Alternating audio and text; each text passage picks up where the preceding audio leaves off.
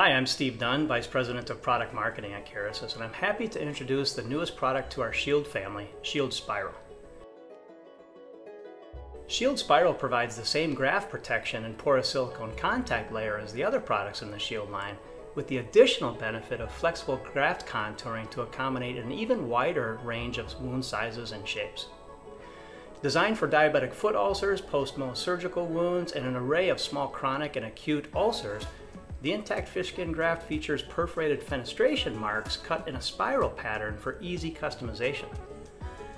Decrease the 30 millimeter graft to as small as 15 millimeters in diameter by simply peeling away the outer 2 millimeter spiral sections until the desired diameter is reached. Now let's hear what some of our healthcare practitioners who have used the product have to say.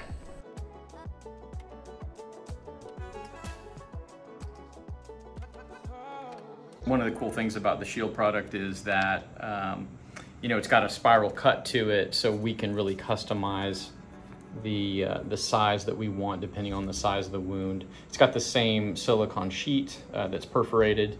Here, after you're going to soak that for about 30 seconds in saline, then you can trim off the excess that's not going to fit in the wound.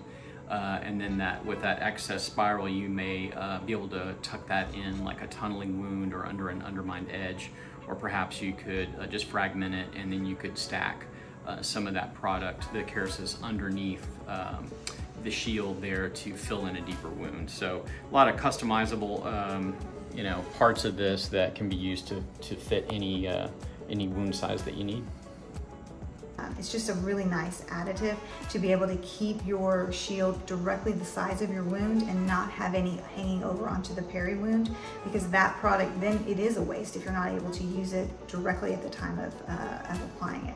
So that's a nice benefit that the Spiral gives that the other um, shield line doesn't have. For those products, if your wound is the right size, it's perfect. But when you need to adjust it, it's nice to keep your silicone layer intact pull off the product that you don't um, need for, this, for the diameter of the wound and place it underneath for the depth of the wound.